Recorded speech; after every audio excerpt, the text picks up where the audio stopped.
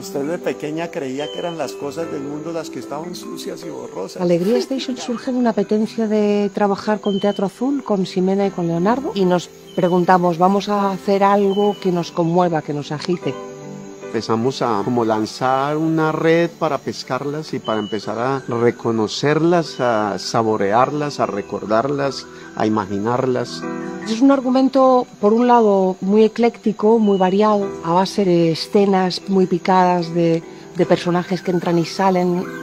Tener que empezar a buscar la alegría primero en mí, encontrar eso de compartir con los otros y ver cómo finalmente todos nos conectamos con la alegría de la misma manera.